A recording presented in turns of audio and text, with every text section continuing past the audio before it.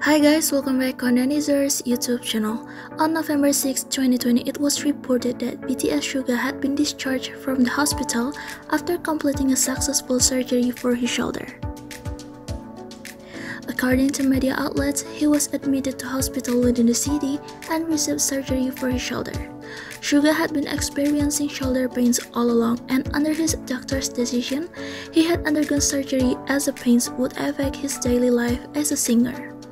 It was revealed that Suga didn't want fans to worry and only told people close to him about the decision. The surgery was announced as a success and he received ample rest before being discharged on November 6, 2020.